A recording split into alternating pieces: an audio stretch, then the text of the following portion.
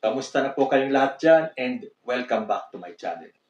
Malapit na po ang pangalawang sona ng ating Pangulong Ferdinand Marcos Jr.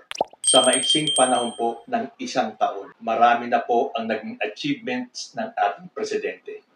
Hindi na po natin kailangan isa-isahin dahil past few months nakikita po natin at ako lagi kong sinishare sa inyo ang mga achievements ng ating presidente. Natural, nandiyan pa rin po yung mga hindi naniniwala, yung mga nagpupumilit maging bulag na kahit nakikita na nila yung magagandang ginagawa ng ating presidente, para sa kanila, eh wala pa rin yun. Nakakatawa nga, you know, nagdudumilat na, kitang-kita na yung mga achievements, pero para sa kanila, wala pa rin. Para bang akala mo, kung sila ang magiging presidente, eh mas marami silang magagawa. Kasi kung iisa-isahin natin yan, hindi rin naman maniniwala itong mga anti-Marcos na to. At para sa ating mga Marcos supporters, alam na alam po natin at ramdam na ramdam natin ang pagbabago. Hindi naman po kasi talaga instant yan. Yung ibang mga anti-Marcos, ang gusto nila instant. Ano yan, mommy noodles? 3-in-1 coffee? Para bang sa sobrang taas ng expectations nila kay President Bongbong, eh nawawala na yung kanilang wisyo. Nawawala na yung rason. Basta para sa kanila, right this very moment, right this very instant, dapat makakita kami ng pagbabago. Eh, ang dami-dami naman na talaga, pero para sa kanila, wala pa rin. Magbibigay ako ng isang example. Ito po, nabasa ko sa balita, inilabas ng Pangulong Bongbong Marcos ang Executive Order number 34 na nagdedeklara na flagship program ng gobyerno ang pambansang pabahay para sa Pilipino program or yung 4PH. Sa bisa ng EO34, inaatasan ng Pangulo ang mga ahensya ng pamahalaan na ipatupad ang 4PH kasama na ang pag-imbentaryo ng mga lupa mula sa mga LGU at ipasa ang listahan ng mga ito sa Department of Human Settlement and Urban Development sa loob ng 60 days mula sa issuance ng nasabing EO. Nakita nyo ang focus ng ating presidente?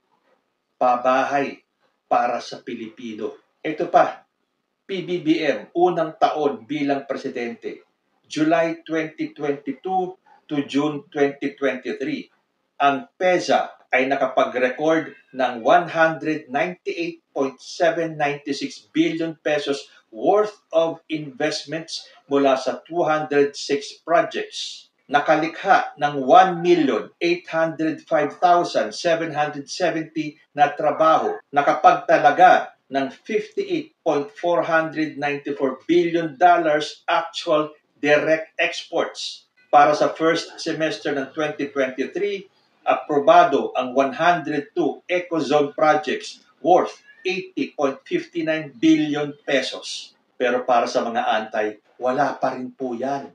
Lalong-lalo na dito sa isang senadora na itatago na lang natin sa pangalang Risa Hontiveros. Tinawag ni Senador Risa Hontiveros na wasted ang unang taong panunungkulan ni Pangulong Marcos. Ano ba ibig sabihin ng wasted sa Tagalog? Sayang or nasayang? Ayon kay Hontiveros, kasama sa nasayang ay ang oras na ginugol at ang political capital na ginamit upang maisabatas ang Maharlika Investment Fund. Tingnan nyo na naman itong isip itong senadorang to. Nakasentro siya doon sa Maharlika Fund. Wala na siyang ibang nakitang nagawa ng ating presidente. Nasayang lang daw yung unang taon ng ating presidente dahil nakafocus ito sa Maharlika Investment Fund. Ano ba namang klaseng kitid ng utak nitong senadorang ito? Kasi wala siyang ibang maipintas doon sa mga achievements ng ating presidente. Kaya magfo-focus siya doon sa alam niyang medyo controversial tulad nitong Maharlika Investment Fund. Pero, may naniniwala pa ba dito kay Senator Risa Ontiveros? Kukunti na lang po. Baka nga sa mga susunod na eleksyon, hindi na ito makakuha ng pwesto dyan sa Senado. Saan ka nakakita ng senador na wala na talagang sinang-ayunan sa proyekto ng ating gobyerno? Yan po, numero uno, si Senator Risa Hontiveros. meron akong nabasang post ng isang Antonio Miguel R. Santiago. Ito po ay tungkol sa unang taon ng ating presidente. Ito para sa akin sumasalamin sa sentimiento ng maraming Pilipino. Sabi po niya rito, I voted for this man PBBM last year and I felt it's very good for me that his performance is more about progressive, not instant. Kasi gusto ng Pinoy lagi instant kaya karamihan sa atin hindi yumayaman. Ganun ang way of thinking ng Pinoy na gusto maunlad agad. Always remember, it is a process. I will give him a score of 7 to 8 out of 10. Huwag tayo magbulag-bulagan. Ayos naman ang pamumuno niya ngayon. Hindi maingay. Konti na lang ang droga pero di na mawawala yan. Bumaba ang korupsyon pero di na mawawala yan. Krimen bumaba pero di na maiiwasan yan. Ang bilihin mataas due to inflation pero bumagal ang pagtaas and war between two countries still ang tensyon sa atin ng China hindi na ganun kalala. Di tulad sa panahon ni Pinoy at ex-President Duterte. Maayos ang Pilipinas. Safe ako sa bansa ko. It is not new for us na may mga media and anti-BBM na panaygawa ng issue at ginagamit pa rin ang poverty porn to attack the incumbent leader. Nasa tao na yan kung gusto nila manatili sa pagiging mahirap. Siyempre, di nila binoto kaya siraan. Build, build, build, or better known as build, better, more. Especially ang blueprint ngayon, Metro Manila Subway, Bataan Cavite Bridge, pambansang pabahay sa mahihirap, Kadiwa Store, not nationwide pero nangyari natupad. Wala nang utang ang magsasaka sa Pinas. Bayad na, kaya posible ang pagbaba ng presyo ng bigas. Huwag natin sabihin walang ginawa kung ang PBBM naman nababalanse niya ngayon seguridad ng mga Pinoy. Sa akin, hindi excellent pero very good performance ni Marcos sa akin ngayon. Yan po ay ayon kay Antonio Miguel R. You may agree or disagree, pero marami po siyang sinabi dito na may katotohanan. Yung pong droga, yung korupsyon, yung krimen, yung pagtaas ng presyo ng bilihin, hindi ba yan nangyari sa panahon ng ibang mga presidente? Sino ba ang presidente ang nakahanap ng solusyon at nawala ito mga to ng 100%? Wala pa po. Pero hindi man nawala, nabawasan po. And that is the truth. Pero ito mga anti-Marcos, ito ang ibinabato sa ating gobyerno. Para bang noong mga panahon nila Cory Aquino, nila Fidel Ramos, o yung mga sumunod na presidente, eh hindi naganap ito, nawala ito mga to. Walang krimen, walang korupsyon, walang droga hindi tumaas ang bilihin. Meron bang mga presidente na nakasolve ng lahat ng problemang ito? Wala po. Sa totoo lang tayo. So para sa akin, hindi man excellent. Kasi pag sinabi mong excellent, 100%. Burado lahat ng problema. Magpakatotoo tayo. Excellent means 100%. Pero kung good, hindi lang good. Very, very, very, very good para sa akin ang performance ng ating presidente. Kasi wala pa po talagang presidente ang naging excellent ang performance during their term. Eh ito, si President Bongbong, isang taon pa lang, eh mas marami na siyang nagawa kaysa dun sa mga nagdaang presidente. So, aabangan po natin ang SONA ng ating presidente sa July 24. Sino-sino po ba ang mga political luminaries na aatin sa SONA? Eh ano naman ang balita kay ex-Vice President Lenny Robredo? Sabi po dito sa nabasa ko sa GMA News Online, ex-VP Lenny declined invitation to SONA 2023.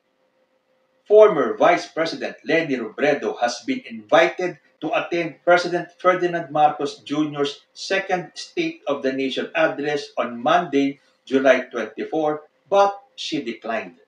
House Secretary General Reginald Velasco, however, did not elaborate as regards Robredo's reason for backing off. GMA News Online has reached out to Robredo's camp as to why she won't make it to the president's annual address before a joint session of Congress.